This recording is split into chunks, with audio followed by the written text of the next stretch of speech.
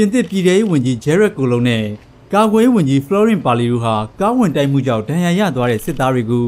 ပဲရစ်မြို့အရှိချမ်းမှာရှိတဲ့ဆမ်မန်ဒီဆေးရုံမှာတွားရောက်တွေ့ဆုံအားပေးခဲ့ကြပါတယ်။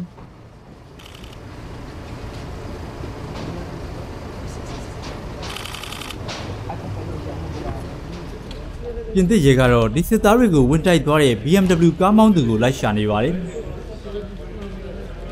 ပဲရစ်မြို့လူနေရက်ကွက်တစ်ခုမှာဗုဒ္ဓဦးနေ့ကဖြစ်ပွားခဲ့တဲ့တိုက်ခိုက်မှုမှာစစ်သား6ယောက်ဒဏ်ရာရခဲ့ပါတယ်။ကားသမားကလမ်းဘေးမှာရပ်နေတဲ့စစ်သားတစုကိုဝင်တိုက်ပြီးထွက်ပြေးသွားတာပါ။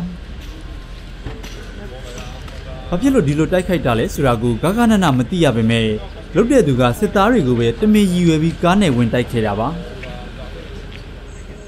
ဒါဟာပြီးခဲ့တဲ့နှစ်တွေအတွင်းလုံခြုံရေးတပ်ဖွဲ့ဝင်တွေကိုတိုက်ခိုက်မှုတွေထဲမှာ